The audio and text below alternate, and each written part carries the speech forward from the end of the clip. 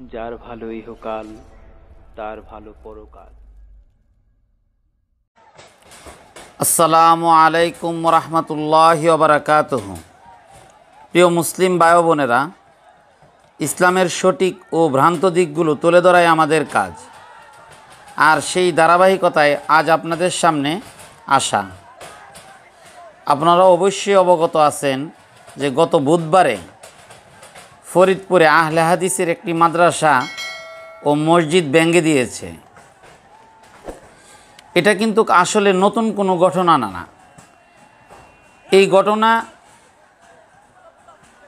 নবীজির আমল থেকেই শুরু হয়েছে। নবীজির বিরোধিতা করেছে অসংখ্য লোক ওই আমল থেকেই। আর এই ধারাবাহিকতায় কেয়ামত পর্যন্ত এরকম একদল বাতিল থাকবেই। তারা তাদের বাপদাদার ধর্মকে প্রাধান্য দেওয়ার জন্য কোরআন হাদিসের বিরোধিতা করেই যাবে। যারা সোশ্যাল মিডিয়া, যারা ইউটিউব বা ফেসবুক চালান, তারা অবশ্যই অবগত আছেন যে তারা কি পরিমাণ মিথ্যাচার করে কোরআন হাদিস নিয়ে। অথচ সব আমাদের ইমান এবং আমলের ব্যাপারে যত বিষয় আছে সবগুলির কিন্তু হাদিস আছে। একটা তারা প্রমাণ করতে পারবে না যে এই বিষয়গুলির হাদিস নাই। তারপরেও তারা শুধুমাত্র সংখ্যাই বেশি হওয়ার কারণে তারা তাদের জোর খাটিয়ে আমাদের মসজিদ, মাদ্রাসা ভাঙ্গার চেষ্টা করে। আলহামদুলিল্লাহ, যত জায়গায় তারা ভাঙ্গার চেষ্টা করছে, হয়তো ওই এলাকায় মসজিদ আছে, আমি নিজেও জানতাম না। এই বাঙ্গার কারণে জানতে পেরেছি, শুধু আমি না, পৃথিবীর যত জায়গায় যত মুসলমান আছে সবাই জানতে পেরেছে। যেমন সিলেট আত্মা কোয়া মসজিদ, এই গত রমজানের আগের রমজানে ভেঙে দেওয়ার জন্য উঠে পড়ে লিখেছে দেওবন্দি বেরলবি মানে হানাফি মাঝহাবি তারা অনেক চেষ্টা করছে, আলহামদুলিল্লাহ ভাঙতে পারে নাই, বরং ওইখানে এখন দিনের দাওয়াত পৌঁছাছে পাশে যে শিরিকের আস্তানা আছে, শাহজালালের যে আস্তানা, এটা তো একটা শিরিকের উৎপাদন কেন্দ্র। অথচ কোনো মাঝহাবিরা কোনো দিন যদি এই মামুনুল হক বলেন, আল্লামা শফি বলেন আর বাবুনগরী বলেন, একটা লোক যদি কোনো দিন এই মাজারের বিরুদ্ধে একটা কথা বলতো, তাহলে মনটারে বুঝাইতাম। তারা যত কিছুই বাতিল বাতিল বলে, তারা কোনো বাতিল প্রমাণ করতে পারে না। আমি সকল মাঝহাবিদেরকে চ্যালেঞ্জ করে বলছি, যদি একটা বিদাত, একটা শিরিক আহলা হাদিসদের ভিতরে দেখাতে পারেন, আমি আপনাদের সাথে কথা দিলাম, আপনারা যা বলবেন আমি তা মেনে নিব। কিন্তু কি কারণে আপনারা এরকমভাবে গু খেয়ে লাগছেন যে কোরআন হাদিসের পিছনে? কি স্বার্থ আপনাদের? শুধু দুনিয়াবি এই ধর্ম ব্যবসা করার জন্য এইভাবে এই কোরআন হাদিসের বিরোধিতা? আবার দেখলাম অনেকে বলতেছে যে এখানে নাকি মসজিদ ছিল না। আপনারা এই ফটোটা দেখেন। যে এই ফটোটার মধ্যে এই যে গুলচিহ্নটা দেওয়া আছে, দেখেন।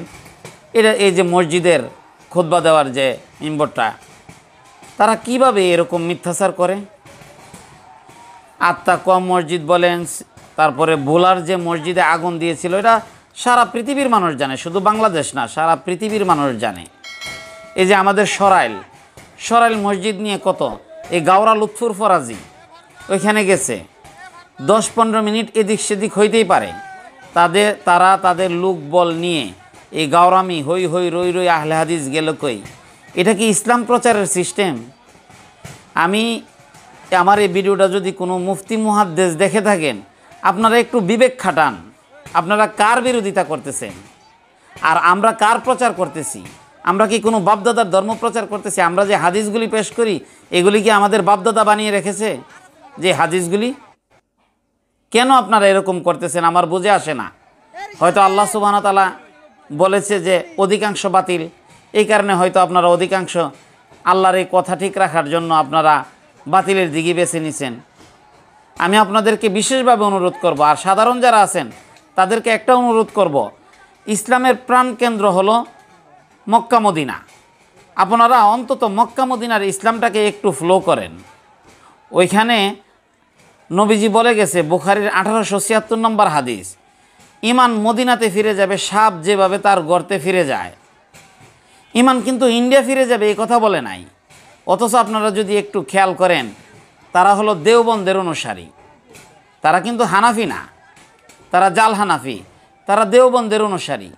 আপনারা যদি একটু বুঝেন যে তারা কীভাবে জাকির নায়কের বিরুদ্ধে, জাকির নায়ক ইহুদির দালাল।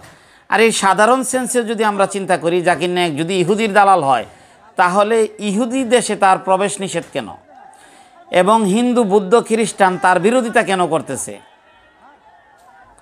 তা আশা করি আপনারা কিছুটা বুঝতে পারবেন। আর আমি অনেকেই বলতেছে যে এটা নাকি এলাকাবাসী। তাই আমি আপনারা একটু রিপোর্টটা দেখুন। দি ডেলি স্টারের রিপোর্টটা আমি আপনাদেরকে একটু দেখাচ্ছি। আশা করি আপনারা বুঝতে পারবেন এই রিপোর্টটা দেখলে।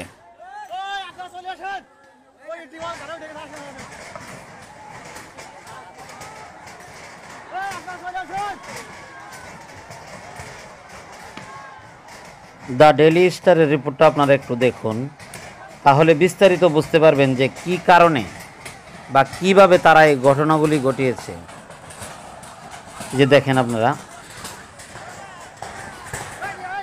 আঠারোই নভেম্বর দুই হাজার বিশ ফরিদপুরে একটি মাদ্রাসা ভাঙচুরের অভিযোগ। ফরিদপুরের সালথা উপজেলায় একটি মাদ্রাসা ভাঙচুরের অভিযোগ উঠেছে। ছবি স্টার, নিজস্ব সংবাদদাতা ফরিদপুর। ফরিদপুরের সালতা উপজেলায় একটি আহলে হাদিস মাদ্রাসা ভাঙ্গার অভিযোগ উঠেছে কৌমি মাদ্রাসার সম- সমর্থকদের বিরুদ্ধে। আজ বুধবার সকাল সাড়ে আটটার দিকে সালতা উপজেলার বাওয়াল ইউনিয়নের কামদিয়া গ্রামে এই ঘটনা ঘটে। তবে কৌমি মাদ্রাসার সম- সমর্থকরা এই হামলার সঙ্গে নিজেদের সংশ্লিষ্টতার কথা অস্বীকার করেছেন। এলাকা এলাকাবাসী, জনপ্রতিনিধি ও পুলিশ জানিয়েছেন, মাদ্রাসাটি ব্যঙ্গে জ্বালিয়ে দেওয়া হবে বলে স্থানীয় কৌমি মাদ্রাসার পক্ষ থেকে গতকাল মঙ্গলবার এলাকায় মাইকিং করা হয়েছিল। এতে আহলে হাদিস সমর্থকরা বিত হয়ে সালতা উপজেলার নির্বাহী কর্মকর্তা, ইউএনও ও থানার ভারপ্রাপ্ত কর্মকর্তাকে ওসি বিষয়টি জানান।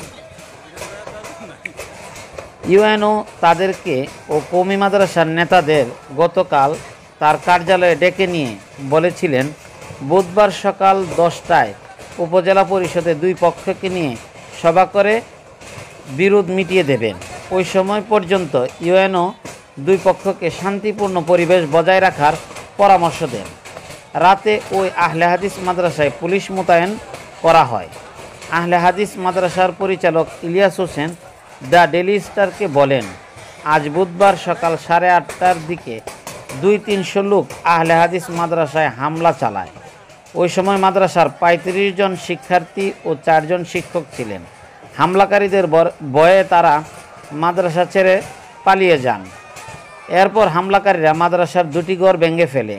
হামলাকারীরা চোদ্দোটি সিলিং ফ্যান, একটি সৌর বিদ্যুতের প্যানেল সহ নিবাসীদের যাবতীয় মূল্যবান সামগ্রী লুট করা হয়েছে বলে উল্লেখ করে তিনি আরও বলেন এর ফলে প্রায় বিশ লাখ টাকার ক্ষতি হয়েছে।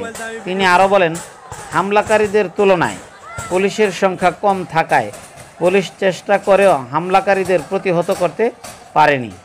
পরে পুলিশের সামনেই এই ভাঙচুরের ঘটনা ঘটে।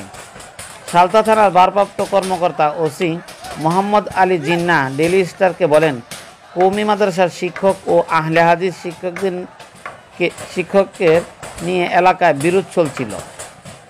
বিরোধ নিরসনে আজ সকাল দশটায় দুই পক্ষকে নিয়ে উপজেলা পরিষদে আলোচনার কথা ছিল। তিনি আরও বলেন, হামলার সঙ্গে জড়িতদের শনাক্ত করার চেষ্টা চলছে। এ ব্যাপারে প্রয়োজনীয় আইনগত ব্যবস্থা নেওয়া হচ্ছে। সালতা উপজেলার ইউএনও মোহাম্মদ হাসিফ সরকার ডেলি স্টারকে বলেন হামলার ঘটনা শোনার পর ঘটনাস্থল পরিদর্শন করেছি।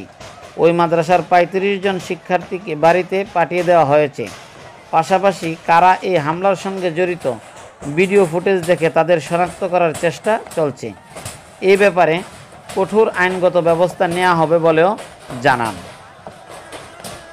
এখন আপনার তো আমি সকলের জন্য বলব, আপনারা প্রমাণ দিয়ে ইসলাম মানুন, প্রমাণ নেন।